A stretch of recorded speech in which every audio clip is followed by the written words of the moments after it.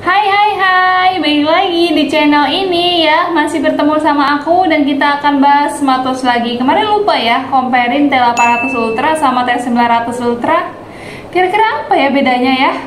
Kalau kalian lebih suka T800 Ultra, bantu like ya Kalau kalian lebih suka T900 Ultra, bantu subscribe, oke? Okay? Yuk, gak usah lama-lama, langsung aja kita ke videonya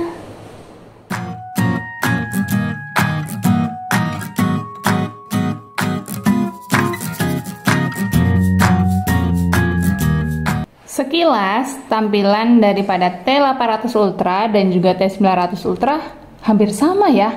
Kira-kira ada yang udah bisa nebak apa perbedaannya? Yuk, kalau belum bisa, kita coba bedah dulu ya. Dari tampilan strapnya sama ya guys ya. Seperti ini ada gelombangnya dan di sisi kanan kiri itu ada lubangnya. Jadi biasanya kita sebut dengan clone strap ya.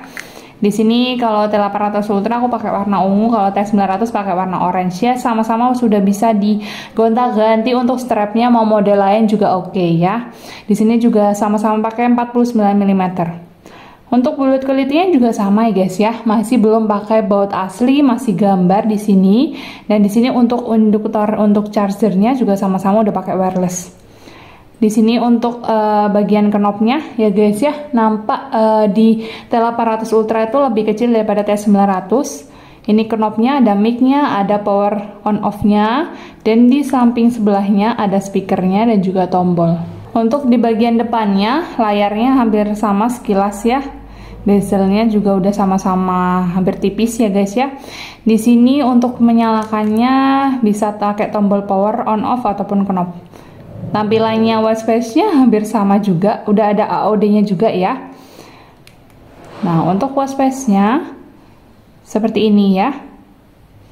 Nah, sama kan? Sama-sama ada gambar kudanya untuk ultranya ya kakak ya. Nah, seperti ini juga udah bisa diganti wallpaper sendiri. Seperti itu tampilan watchface-nya sama ya guys ya. Lalu kita coba masuk ke menunya. Di sini menunya beragam. Supaya lebih detail, aku coba ganti ke menu yang berderet itu aja ya. Untuk menunya seperti ini ya, hanya beda bahasa aja. Di atasnya sama, ada untuk telepon kita tinggal klik-klik aja ya. Terus di sini ada buku telepon. Terus ada untuk mengukur detak jantung sama ya tampilannya. Lalu di sini ada oksigen dalam darah sama juga tampilannya. Terus ada trisiklik kesehatan. Ada lalu ada menu EKG seperti ini. Sama ya, untuk tampilannya ada grafiknya juga ya. Lalu ada mode olahraga kira-kira sama nggak ya? Untuk uh, isinya berlari, mengendarai sepeda, terus latihan kekuatan, bola basket, tenis, bola voli, football. Sama ya guys ya isinya untuk olahraganya. Dan menu pencatatannya juga sama. Ada waktu, detak jantung, kalori, jarak tempuh, dan langkahnya. Sama-sama udah bisa buat berhentiin di swipe ke kiri, untuk swipe ke kanan udah bisa dengerin musik. Setelah itu ada kontrol kameranya sama tampilannya ya. Ada juga tekanan darah di sini. Ada juga untuk kontrol musik ya.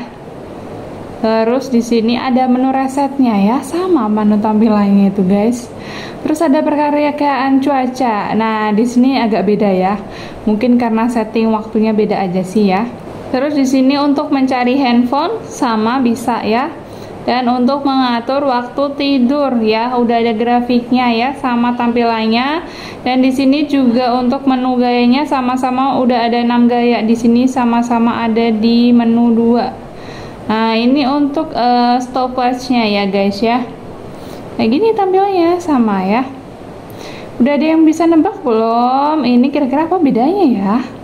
Untuk QDQR-nya juga sama dia, sama-sama pakai HiWatch Pro. Kita lihat coba di menu pengaturannya ada sama change to ya, kurang lebihnya sama ya guys ya. Tuh, sama kan? Sama-sama udah bisa ngatur kecerahan kayak gini tampilannya. Mungkin tadi pada bingung ya kenapa kok satunya kayak cerah banget? Nah ini cuman karena brightnessnya guys. Beda tadi ya. Gitu. Nah terus di sini untuk uh, menu sosmednya sama ya. Ada Facebook, Twitter, sama WhatsApp. Dan di sini juga udah ada gamenya guys. Sama-sama ada menu game Fighter Pilot ya. Tuh ada satu game ya ini Factor Pilot kalian bisa main tembak-tembakan nih ya. Otomatis sudah nembak di sini. Lalu di sini juga udah ada kalendernya ya, sama-sama udah bisa buat ngelihat tahun lalu udah bisa ya. Terus di sini juga udah ada kalkulatornya ya bisa sama-sama udah bisa buat berhitung pembagian perkalian. Ada juga menu bernafas sama udah bisa digunakan semua ya. Nah terus ada menu lagi. Oh udah selesai guys. Sama kan isi menunya? Ayo ada yang bisa nebak belum? Kira-kira perbedaannya apa Yap, bener banget. Bedanya itu di ukurannya, guys. Jadi, kalau yang mau yang ukurannya besar ya, yang paling mirip sama Apple Watch Ultra itu kan ukurannya 2,09 inch di T900 Ultra. Kalau yang memang yang suka versi mungilnya di di T800 Ultra ukurannya 1,99 inch ya. Coba kita compare aja ya kalau dipakein dua-duanya. Nah kayak gini ya perbedaannya guys ya ukurannya kelihatan banget untuk strapnya sama aja ukurannya cuman beda di ukuran layar aja jadi kalian lebih suka yang T900 Ultra atau T800 Ultra nih Oke, gimana teman-teman? Kayak gitu ya perbedaannya ya. Memang bedanya di ukuran layar aja guys ya menurut aku karena memang uh, kurang lebihnya fiturnya menunya sama ya guys ya. Dan untuk harganya sekarang itu yang lebih uh, dagi turun drastis adalah T800 Ultra nih ya. Memang smartwatch ini lagi pada diskon, jadi buruan aja kalian bisa langsung CO aja pakai link di deskripsi aku biar kembaran sama aku. Oke, terima kasih teman-teman sudah menonton video ini secara utuh. Mohon bantuannya untuk subscribe, like, dan komentar video ini. Sampai jumpa di video selanjutnya. Dadah!